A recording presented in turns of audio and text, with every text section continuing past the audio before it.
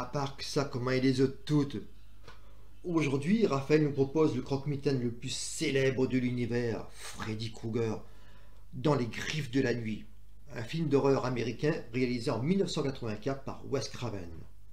Wes Craven, considéré à juste titre par de nombreux réalisateurs comme le maître de l'horreur, a réalisé son premier long métrage en 1972, La dernière maison sur la gauche. Il a également à son palmarès, entre autres, La colline à des yeux, La ferme de la terreur avec Sharon Stone dans un de ses tout premiers rôles, deux opus de la saga Freddy, dont celui qui nous intéresse aujourd'hui, L'emprise des ténèbres, la saga Scream 1, 2 et 3, et pour finir, Scream 4, réalisé en 2011, qui sera son tout dernier film, puisqu'il décédera d'une tumeur cérébrale en 2015.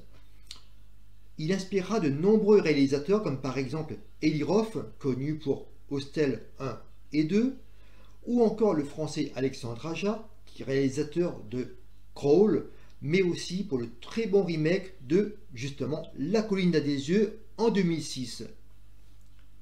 Dans le rôle de Freddy, on a le cultissime Robert England qui incarnera ce personnage durant toute la saga.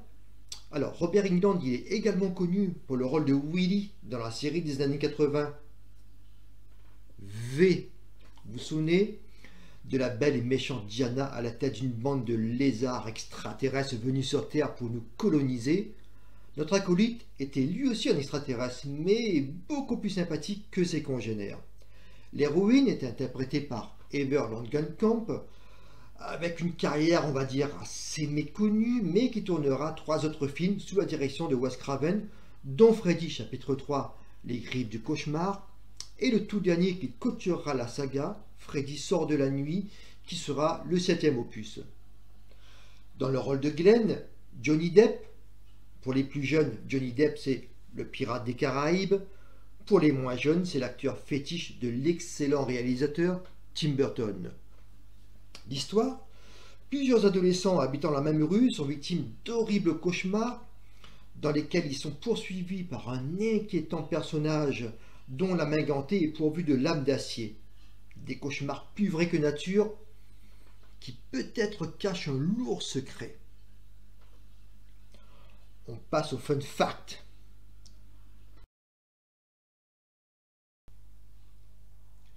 Wes Craven fut brutalisé lorsqu'il était enfant par un jeune garçon nommé Fred Krueger. Eh oui, on se venge comme on peut. C'est le français Claude Chabrol, réalisateur de À bout de souffle, qui a trouvé le, titre français Les griffes de la nuit. Je vous rappelle le titre en anglais Nightmare on Elm Street. Les griffes de la nuit fut présenté lors du Festival d'Avoriaz en 1985, mais malheureusement il n'a pas eu le premier prix, détrôné par un autre chef-d'œuvre, Terminator. Il faut savoir que le film est basé sur un fait divers. En effet, plusieurs jeunes hommes, pour la plupart des immigrés cambodgiens, sont morts d'un arrêt cardiaque dans leur sommeil après avoir fait des cauchemars et aussi dû au stress de leur récente arrivée aux États-Unis. Le film, jugé trop violent, fut refusé par de nombreuses sociétés de production. Seule la toute jeune société New Line Cinema, produisant jusqu'alors que des films universitaires, accepta de produire le film. Bien lui en a pris. Et oui, le très grand succès du film lui sauva de la faillite. Figurez-vous que d'après une revue scientifique, le rouge et le vert sont les couleurs les plus incompatibles au regard de l'œil humain, d'où le choix du réel pour les couleurs du pull de Freddy. C'est en regardant la patte de son chat que Wes Craven a eu l'idée de la main gantée contenant des lames. C'est le tout premier rôle de Johnny Depp, qu'on voit ici dans une tenue très euh, flamboyante, on va dire. Autre époque, autre mœurs, regardez là aussi. Je vous signale quand même qu'on est dans un hôpital. Ont été pressentis pour le rôle de Glenn, donc interprété par Johnny Depp, Charlie Chin, Brad Pitt ou encore Kiefer Sutherland, mais c'est Johnny Depp qui a été retenu, vu que celui qui coûtait le moins cher. 2000 litres de sang ont été utilisés pour réaliser cette scène. Il a fallu environ 3h30 les jours pour réaliser le maquillage de Freddy. Regardez cette scène. Nancy regarde Evidid de Sam Raimi pour éviter de s'endormir. Un jour, toute l'équipe est allée manger dans un restaurant thaïlandais Juste à côté du lieu de tournage, avec Robert England toujours maquillant Freddy, le serveur a lâché le plateau et s'est enfui en courant. La saga Freddy contient 7 opus. Pour les avoir tous vus, je vous avoue que le 1, chef-d'œuvre, le 2 et le 3, très bon, mais à partir du 3, même le 7, hein, qui a été réalisé par Wes Craven, euh, je vous avoue que ça casse pas les briques. Budget de film, 1 800 000 dollars, et ça a rapporté 24 millions de dollars. C'est pour vous dire le très très grand succès du film. Un remake a été réalisé en 2010, une bouse infâme où toute l'équipe s'en bat les steaks. Le pire, c'est qu'ils n'ont même pas consulté Wes Craven. En fait, ils ont quand même eu le droit de faire le film, puisque Wes Craven, l'oreille qu'il a faite, il n'a pas signé de contrat de droit d'auteur. Les acteurs sont insipides, le film est irregardable. Celui qui joue Freddy, il a un maquillage moitié fait à la main, moitié fait en CGI. CGI, ça veut dire effet numérique. Franchement, ça ressemble à rien. Le pire, c'est que j'imagine la jeune génération découvrant Freddy à partir de ce truc. Et ça a sûrement été le cas puisque le film a très très bien marché, malheureusement. C'est bien dommage.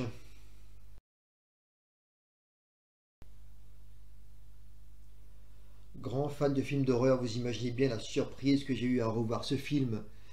Il faut dire qu'étant adolescent, j'ai été bercé par ces personnages-là.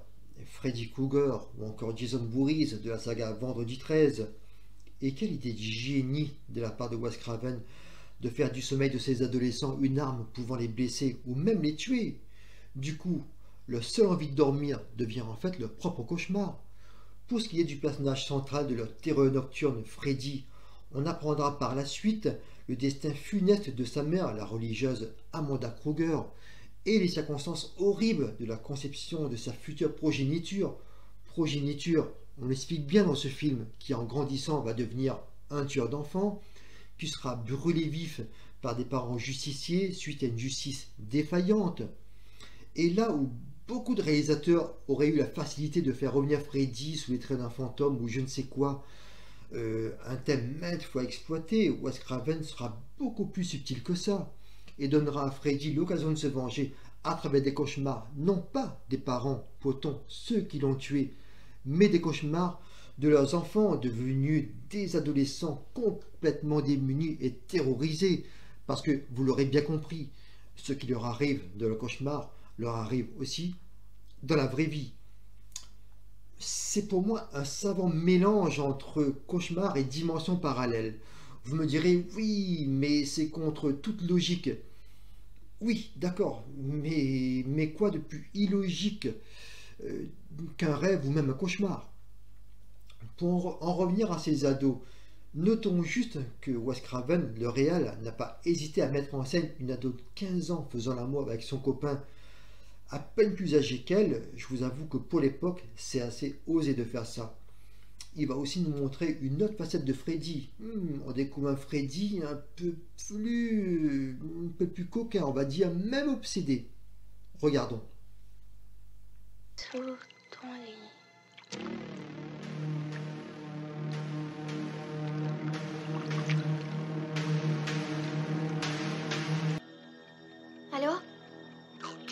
C'est moi maintenant,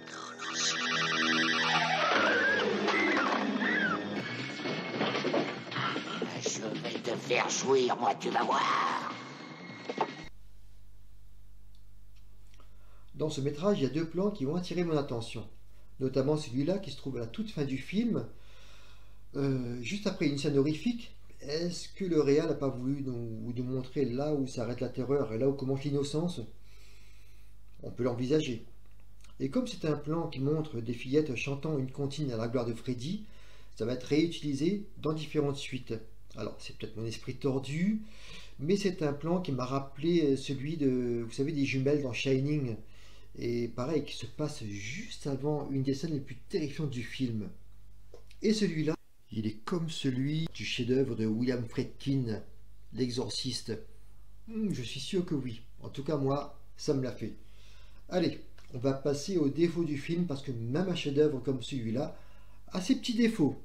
On va commencer par le jeu d'actrice de la mère de Nancy, que je trouve pour ma part assez léger.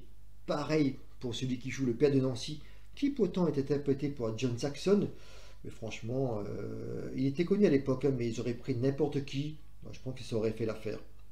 Les trucages ont assez bien vieilli, contrairement à ce que l'on peut penser, sauf celui-là. Regardez, pique les yeux. Hein.